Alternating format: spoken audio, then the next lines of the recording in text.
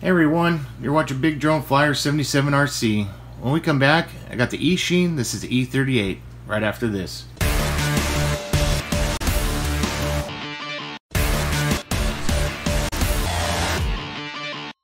Hey, welcome back everybody. Donnie here, and thanks for joining me today on this edition of Big Drone Flyer 77 RC. Hey, I'm with the Eachine E38. Uh, this one here is uh, not a GPS drone, but this one is uh, optical flow. So it does have a, a camera uh, sensor on the bottom. Uh, plus two, this one has a 720p camera in the front. The box says 1080p. You also can get it in 4K. But on my box, I noticed on the front says it says 1080p camera but when I looked at where the box is marked on this one mine is marked only 720p and there is the black version I got and there's a white version which I believe on the side here shows you uh, the two different colored ones there. So uh, I do have the 720p camera system on this which I don't expect it to be too much you guys. This is just going to be basically uh, just a little flyer here definitely good for beginners. Uh, but we'll find that out once we uh, get it out there for flight. Um, on here, I noticed uh, I was looking for the optical flow camera, and it is really hard to tell where it's at until you look up closely here.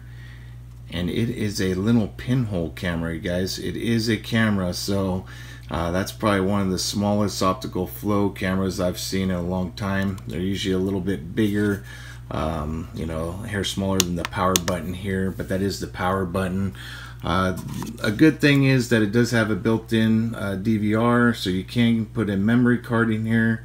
I suggest a class uh, 10 and I would only go probably with this one 32 gigabytes you guys uh, I think anything bigger like that I don't think it's gonna be able to record or it may uh, be corrupt or show error but I, I'll have to look in the uh, instructions. I'm just opening it for the first time, taking a look at it at the same time with you guys. So uh, you do get two batteries. They're 3.7 volts, 1600 milliamps. So you're supposed to be getting a decent flight with this one. We'll have to check and see how that goes. You can see it has the micro uh, C uh, port there for micro C charger, which they supply that for you. I'm sure it's in the bag here. Yes, there it is. You got some caps that go on the top here. And you do only get two sets of propeller, A and B propeller, and a little uh, Phillips screwdriver in there so you can take those propellers off. And that's basically it. Just a basic package. You do have uh, propeller guards, and I'll show you how to put those on really quick here. Pull off this dust cover here and I will probably keep those off just to get a little extra venting in there uh, since it's been pretty hot here in California. So that way uh, keep those brushed motors uh, nice and cool.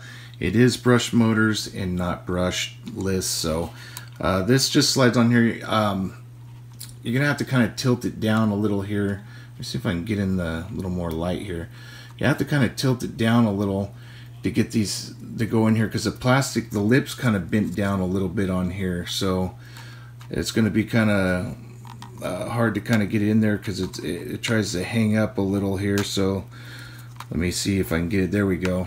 All right that's how the prop guards go on and they're just there should just be pull pull off so um, I don't see no button here so it just pops off you guys so I will keep those off uh, for now but uh, I go ahead and peel this off. But they put a little protective tape on here, a little cover there. Let's take a look at the controller here. The controller, I've got another little piece of tape on here to protect from scratching. Let me pull that off. There's your phone holder there. All right, get that off of there.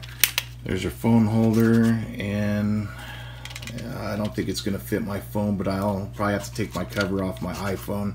But I'll give it a shot. If not, I'll at least start the video and set my phone off the side or in my pocket. Uh, I don't. I'm not sure if that's going to fit in there or not, but I guess that's as far as it goes. Okay, got your power button here, guys. Um, I did put some batteries in it right when I boxed it and set it down here. It does take uh, three double A's. I got some cheapies in there for now for the review.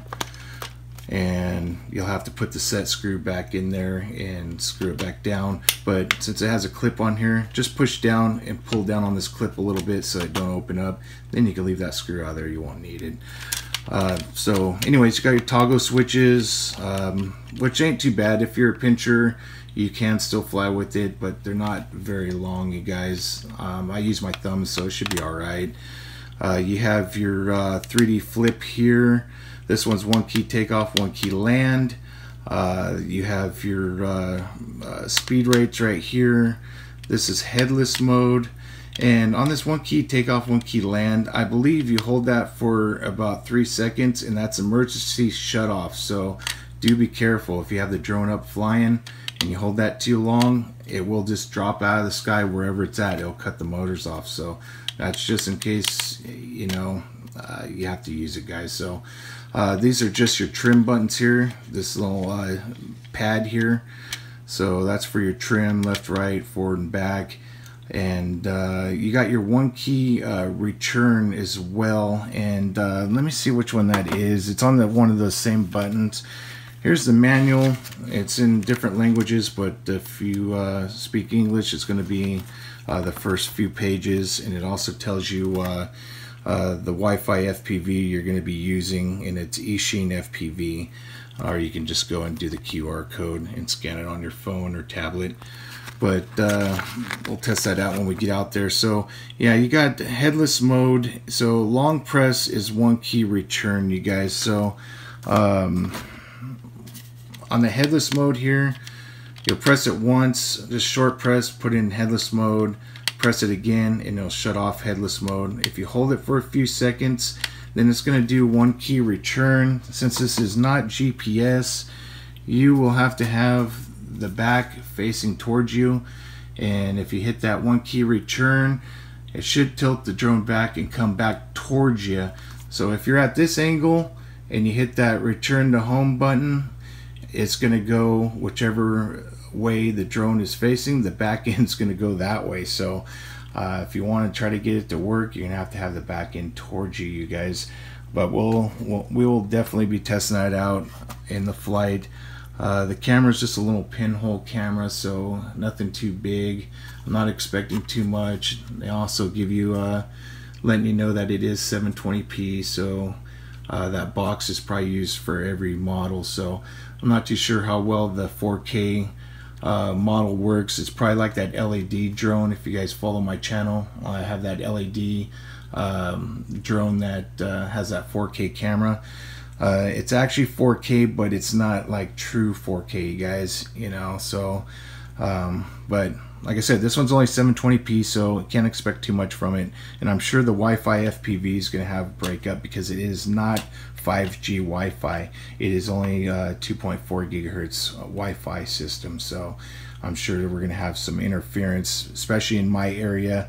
I'm going to do the flight test here at our apartments right now because the parks uh, are still closed off, and then you know there's a lot of stuff going on uh, outside, and we just kind of don't want to be out at the moment since there's been uh, there's been some uh, cases of uh, uh, looting and rioting going on in here in California. So I'm just going to stay home, do this out here in the parking lot for the flight, but we'll have to test that out and see what happens. Uh, but I am in a high Wi-Fi area, is what I was trying to mention, and it may cause interference for the Wi-Fi FPV. So uh, they do give you a little startup uh, kit here uh, that comes on the controller, so it's letting you know how to calibrate the gyros. So uh, once you turn on the drone, what you'll be holding, go ahead and slide this battery in. I did charge up the battery. Um, you'll just hold, press that just one second, it lights up.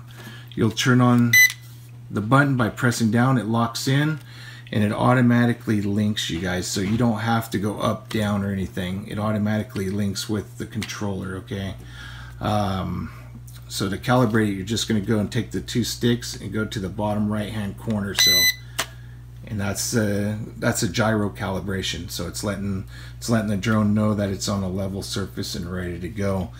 So I'm gonna go ahead and shut that back off. Uh, that's basically it, you guys, and I'm gonna go ahead and uh, take this uh, out for a flight. Looks like you have to hold that for a few seconds to shut the drone back off. But okay, let's go ahead and take this for a flight and see how it does. All right, so I'm out here in the driveway at the apartments because I'm not too sure if our parks are open. I know the playgrounds are still shut down, but there is tons of people out there laying on the grass and I guess having picnics or something. So I'm unable to fly any drones there still. So uh, I'm going to go ahead and, and take this E38 uh, for a flight, but I'm going to have to leave my phone sitting here on this bench because uh, it doesn't fit in the phone holder. Phone holder is super small, you guys. So even if I took the cover off, it wouldn't fit in there. Uh, I'm gonna go ahead and uh, get this thing set up get this guy turned on. I got a 32 gigabyte memory card class 10 in there. I'm gonna get this thing all bound which it just did staying lit up.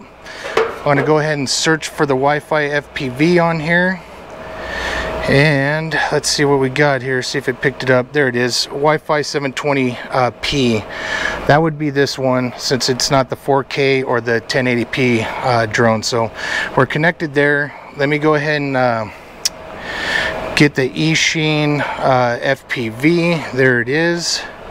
I have uh, airplane mode on that way my phone isn't interrupted by any uh, apps. And there's my stomach there. All right guys so we do have Wi-Fi and of course it's going to be a lot of hesitation but I'm going to go ahead and set this down and uh, I'll start the record here in a second.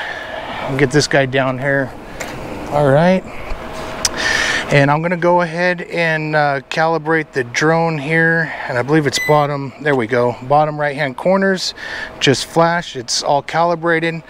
Speed control here there's one two Okay, so only two speeds. I'm going to start off in uh, rate two because it's windy. I know you guys can't see it in the trees, but it is a bit windy once I get up past this fence line. So let me go ahead and start the recording here. I'm going to start it, see if it'll start from the controller. I'll hold that says it's recording it's flashing just shows that it's recording here on the screen you guys.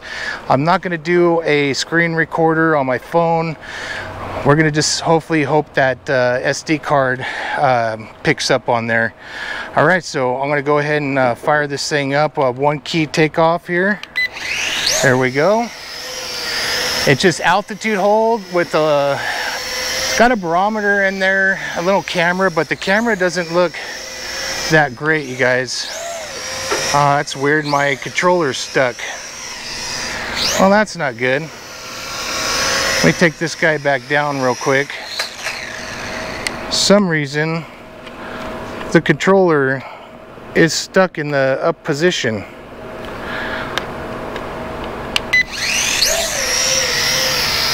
There it goes. I had to fix it a little bit, but yeah, the controller's a little messed up here, guys. All right, so it is gonna let me churn.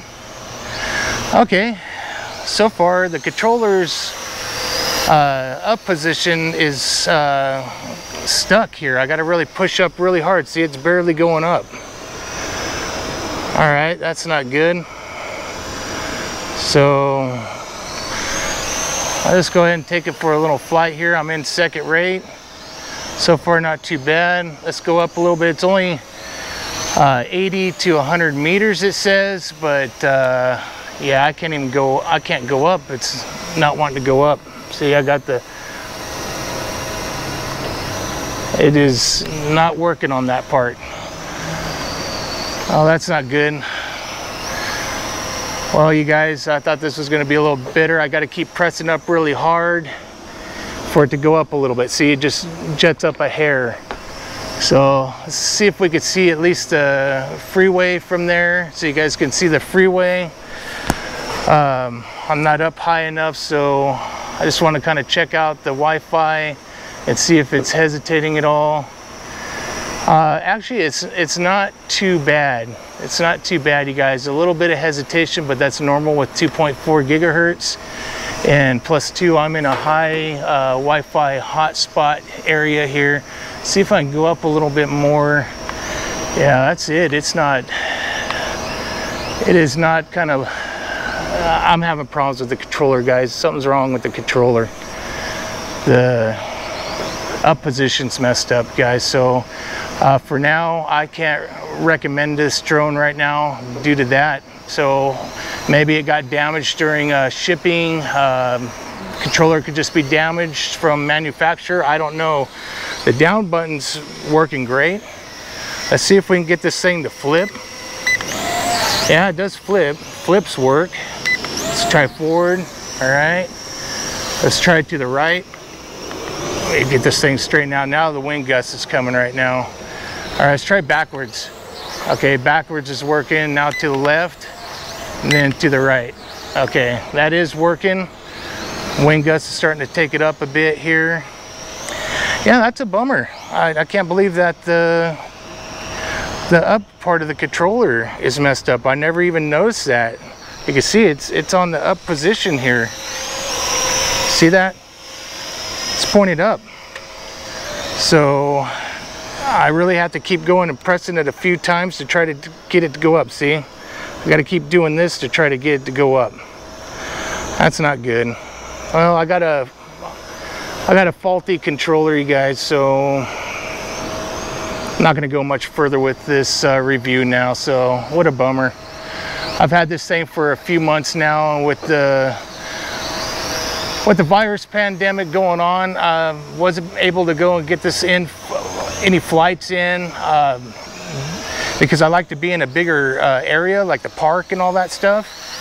Um, I don't like flying in this small confined spot right here. You can see I got trees, I got cars that come in and out. There's someone moving right now. So, you know, I can never really, you know, get a proper review. So I can't go too far because this thing doesn't bank super fast, you can see. So if I get down there and I get a little too fast and I try to turn, I can hit a into one of someone's uh, one of these people's vehicles. So yeah, that's it. Up, oh, it's going down.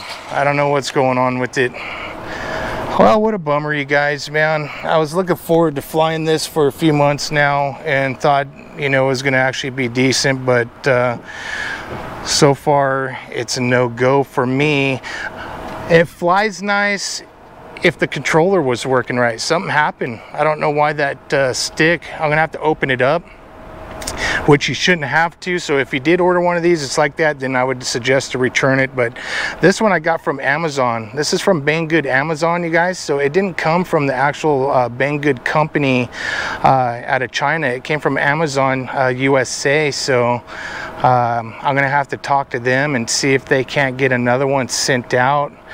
Uh, so I could do a proper uh, review on this. But uh, you know, so far I never even noticed that controller was messed up like that. So I'm gonna take a look at it, guys. And if I can get it working better, let me shut off this uh, filming so I don't lose the film. Hold that down. At least before I go, I'm gonna go and see how it flies with the virtual sticks since the controller is having problems. So I put it at 100% um, I'm going to calibrate it which uh, I'm going to find out where calibrate is.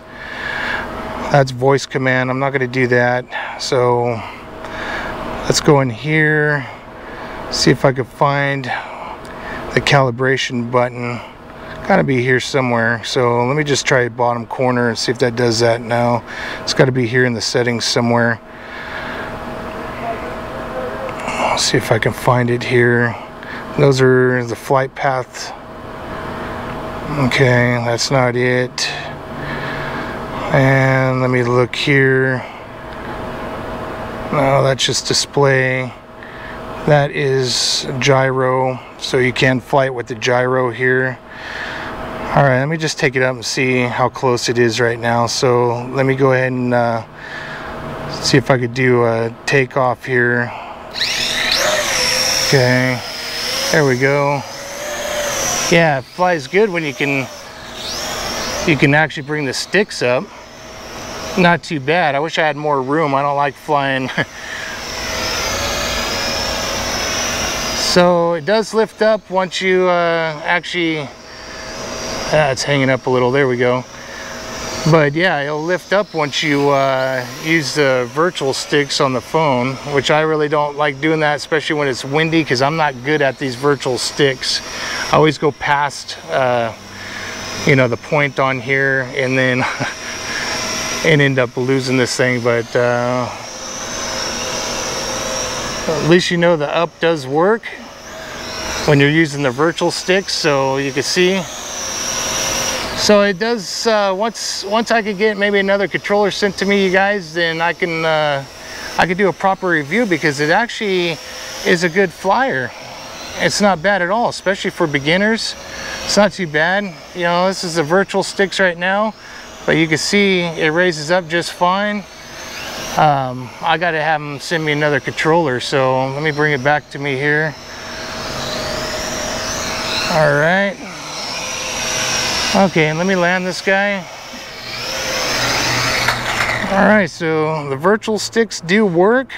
So it's just a controller. It's a good flyer. So, um, like I said, I'll try to have them send me another controller or uh, they may have to just send me the whole thing. That way I can get a proper review, you guys, because uh, it seems like it's going to be decent if the, the stick wasn't messed up on the, on the controller. So, you know, hopefully they can send me one that's uh, not messed up or I'll try to open it up uh, tonight and take a peek in there. Maybe something's just stuck in there or just off track.